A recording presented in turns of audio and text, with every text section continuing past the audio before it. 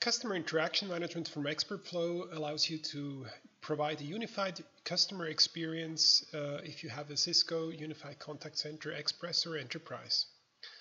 Customers can interact through have multiple identities through which they interact with your contact center. These can be one or multiple chat identities, a phone number or multiple phone numbers, as well as none or many browsers.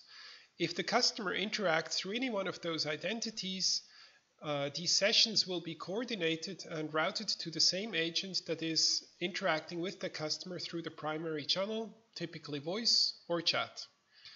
It is possible for agents and customers to work concurrently both on a voice session as well as on a chat session and for the agent to see what exactly the customer is doing at a given moment on the website for one of the uh, browsers that is associated with that particular browser identity. Customer interactions captures all identities of a customer and whenever that customer interacts with one of those identities with your contact center, these activities are routed to the agent. It also stores customer profiles such as account numbers, addresses, and similar information that you might need in order to have a screen pop to, a pop to the call center agent. So an agent can initiate, for example, or a customer can initiate a chat session with the customer and Along with that chat session, the agent can see which websites a customer is visiting, see his geolocation, or see, for example, uh, whether the customer entered the password correctly on the website without actually seeing the password. In between the customer and the agent, you might have automated instances such as an IVR, a chatbot, or a web server that analyzes the information that the customer sends uh, to uh, the contact center. The agent can then also ask a supervisor or second agent to come into that, join that call, and uh, support the, uh, the customer during that session. So you might have a conference between customer, chatbot, agent, and supervisor, for example. This is an example of how things look like from uh, if you use chat only, for example. A customer can interact with any chat channel with a chatbot sitting in between the customer and the agent, and those two will have a chat session to start off with. At some point, it might be required to integrate an agent. So this is a view of a call center agent here. Here you see that this agent is managing seven chat sessions with seven different customers at the same time. Here is the chat interaction and call interaction history with that customer over any channel in the past. Here you see chat suggestions as provided by the chatbot to that particular chat session. And here he can overwrite the suggested answer of the chatbot manually. On the right side, the agent can see the customer profile along with the customer identities. If you see a color code here for each particular chat session. So red means that the chatbot has a very low confidence score for that particular chat session, meaning that the agent has to intervene. Green means the chatbot has a very high confidence goal and that he, he's able to manage the conversation on his own. And yellow means that the confidence score of the chatbot is so so la la. And the agent could leave the chatbot do its own job, but it might be that that chat conversation will then degrade. And uh, you will also see a timer running down at the uh, arrow here. Uh, if the time is up, the answer, the suggested answer of the chatbot will automatically be sent to the customer. If the agent jumps into one particular chat session, he sees the suggested answers of the chatbot, top, to bottom, or as I said, you can insert in a manual answer. The agent can from this interface also uh, see which uh, website visits the customer is doing here in the interaction history, and he can also start a phone call to that customer from the media tool toolbar. If the whole thing is embedded within a call center, uh, the agent will see a Finesse environment uh, where he can basically log in at the agent state and routing mechanism is completely integrated with Cisco Contact Center Enterprise or Express.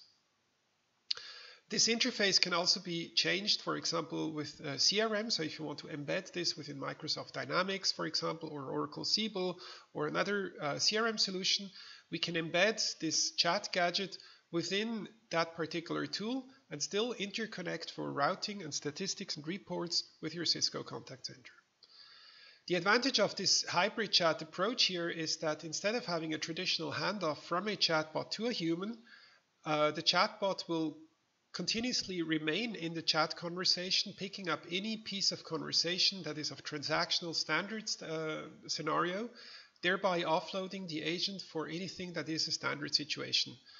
The agent then has to spend much less time manually chatting with the customer than if he is supported by a chatbot and can thereby handle many more chat conversation in parallel at the same time. Let's see what happens to how this actually works from a messaging perspective. We capture individual activities from a customer. This can be spoken sentences, so we do silence detection. This can be individual chat messages. These can be text documents, and it can be website activities.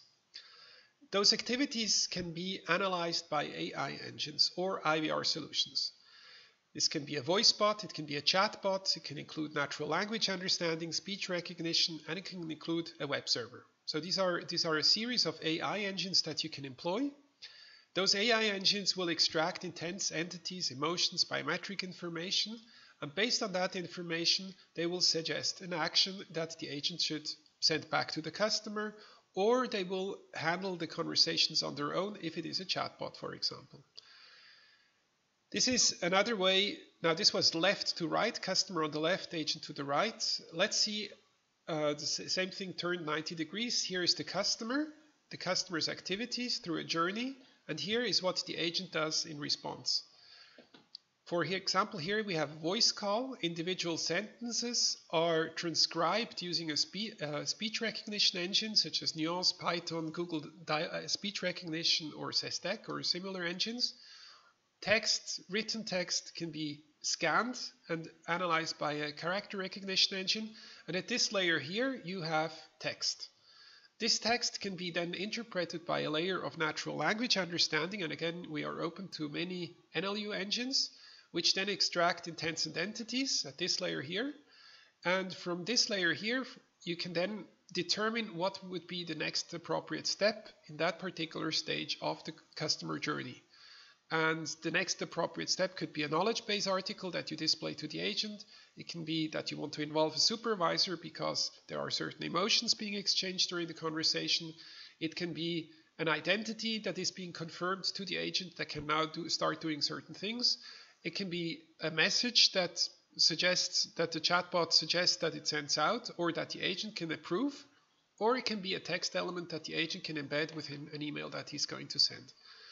And that la last layer here, you see media routing to the contact center agent and the agent contact center desktop. So you'll have a customer journey, customer doing an inbound call, customer doing a chat session, customer having a visual IVR session, which is a call plus chat, customer receiving several outbound call attempts during an outbound call campaign or sending a scanned letter. And in response, we see what the agent is doing uh, as a response to those customer activities.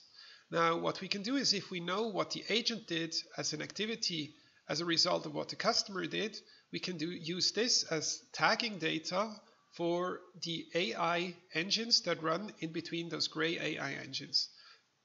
These gray artificial intelligence engines require tagged data in order to be able to predict what would be the next appropriate agent uh, action uh, at a particular stage of the customer journey. So by storing the activities of both the customer and the agent in a normated way, we are able to provide trade uh, tagged data, which is actually the gold, for, goal, gold standard for artificial intelligence. And then you can train basically any AI engine of your choosing. ExpertFlow does not provide any AI engine, but works with major AI providers such as IBM Watson, Google Dialogflow, Microsoft Bot Framework, spaCy, uh, Rasa, uh, and other uh, engines. The idea here is that instead of having a big bang chatbot project, you can just simply start to talk human to human and you can start, start chatting human to human.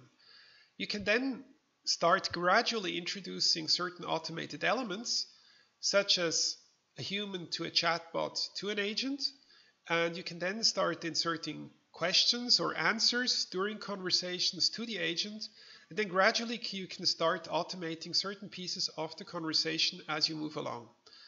So this allows you to introduce AI technologies very gradually at your pace over months and years, while at always having uh, as a baseline human to human interaction.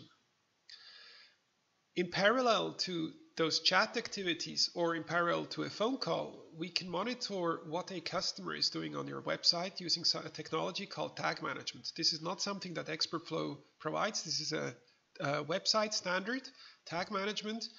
And with tag management, you can basically observe customer website behavior. You can detect certain events. For example, did the customer enter his password correctly? Which pages did he visit? What navigation history does he have? And what is his geolocation? This type of information can be sent to the customer in real time while he is interacting with the contact center agent here. You can also start from an existing website session where the agent sees what the customer is doing, a web RTC video and voice and screen share session. So WebRTC is a free open source technology that is running on all major browsers directly between the customer and the agent. So if you want, you can start a voice video screen share session on top of an existing website activity. So to summarize, ExpertFlow customer interaction allows you to group any or to uh, group any interaction that the customer does over any channel and forward those to the agent and basically enrich your customer experience so that it's no longer one media at a time only, but multiple media at the same time and being supported by AI engines. Thanks you for listening.